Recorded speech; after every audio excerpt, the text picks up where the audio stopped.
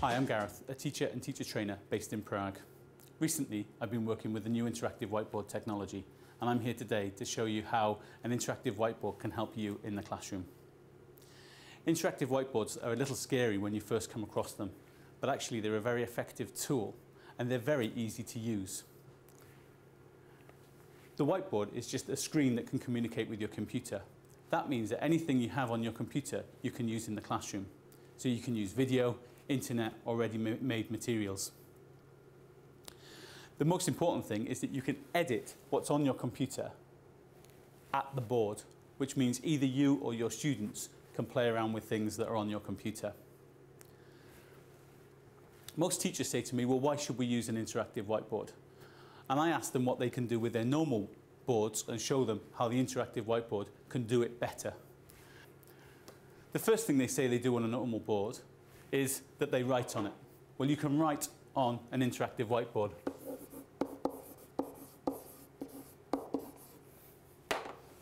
Like that. What you can't do on your normal board is then move this around. So you could start off with it in the center and then move it into the corner. You could also make this bigger and smaller.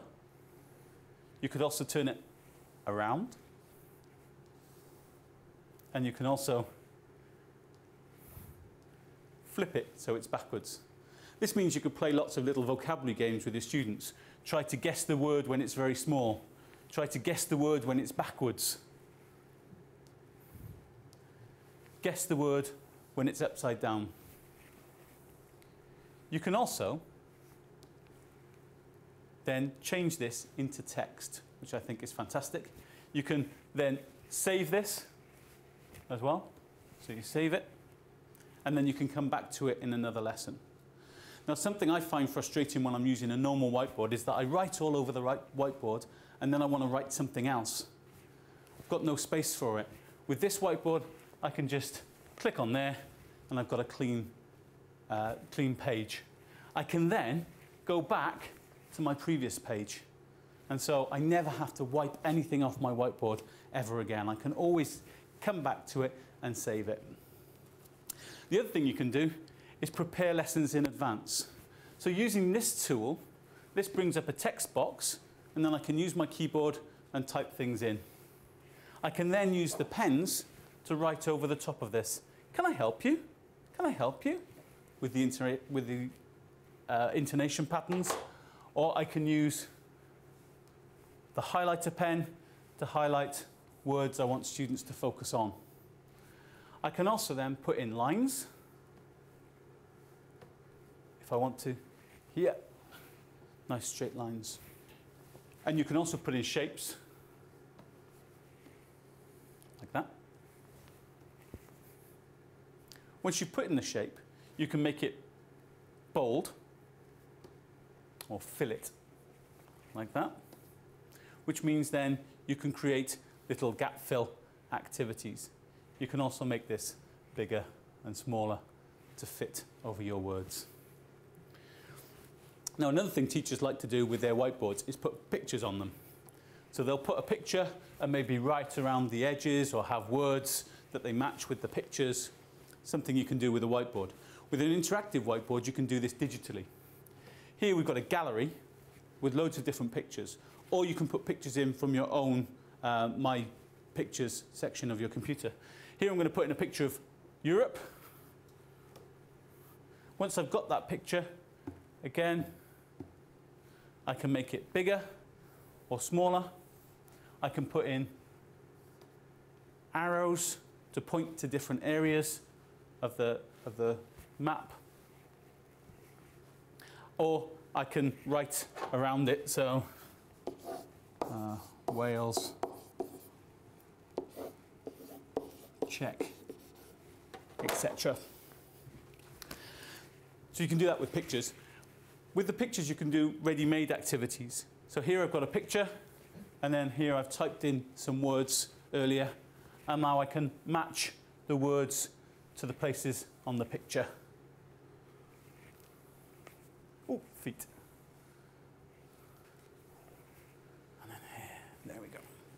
And so that's how we can use pictures. So that's some of the things you can do with the text editors that come with the interactive whiteboard software. Also, most interactive whiteboards come with other tools. One thing to show you is that you can actually make this the full screen. So we can make this the full screen like that. Um, now, as I said, the tools. The first tool I want to show you is the Spotlight tool. The Spotlight just makes a little part of your screen visible to the students. You can make the part as big or as small as you want, and you can move it around like that. This means you can focus the students on one part of the board, or you can play little guessing games where you can get students to try and guess what's in the picture. The shape of your spotlight can change. You can have a circle or a rectangle. The second function that I would like to show you is the screen shade. The screen shade covers your board, but it means you can reveal it bit by bit. So here I can pull the screen down, or pull it up again, or pull it in from the side and push it back again. This is great if you're doing feedback with your class because you can show them one answer at a time. Or it's great if you want the students just to look at one part of the board. Finally, it's great again if you want to play a little guessing game. Guess what's in the picture, what's it a picture of, what's it a picture of, what's it a picture of. Okay, so that's the, the reveal section. Also, up here, we have this little camera the camera allows us to take a photo of other things that are on the screen. So if I close that, take this, I can take a photo of these. This captures the image to the notebook software, and then I've got it in my software, which means I could label this and talk about this with my students. So it's a good way to get pictures into your text editor. So that's some of the functionality of the whiteboard built in. Now I'm going to show you my top tips for using the whiteboard. And I'm going to use the reveal screen to show you how it would work for something like feedback.